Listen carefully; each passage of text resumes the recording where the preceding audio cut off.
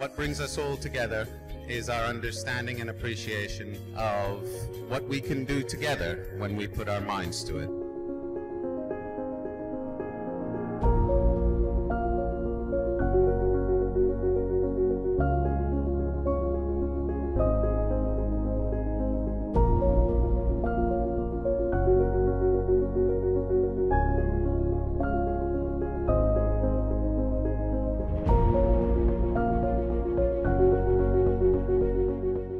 The problems that led to bringing a project to life were Bahrain's seasonal heat effects, its high relative humidity, the impact of conventional vapor compression cycles on the environment, and its high power consumption.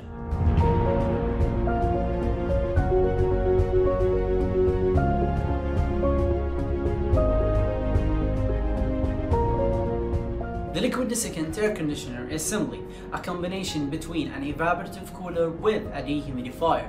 The dehumidifier, however, uses something called liquid desiccant, which is basically a chemical solution of water mixed with calcium chloride that absorb moisture from the air by inducing mass and heat transfer, allowing these cooling units to function effectively in humid climates such as Bahrain's. The evaporative cooler, on the other hand, lowers down the temperature of the air by interacting with water spray being pumped from the nozzles at the top of the container.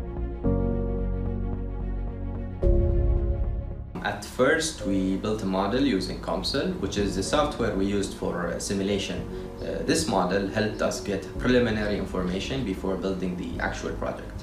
We then began to sketch and draw the actual physical model and we ultimately constructed um, the 3D model. Um, when everything was put together, it was time to test the prototype.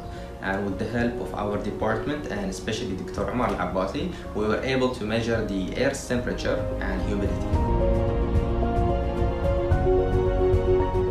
As we previously know, conventional evaporative coolers operate on a low humidity.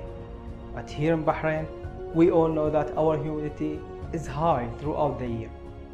Our dehumidifier unit that uses liquid desiccant at a concentration of 30% decreased the outside relative humidity to 17%. That can increase the cooling capacity of evaporative coolers in Bahrain in addition to decreasing the high power consumption of conventional ACs.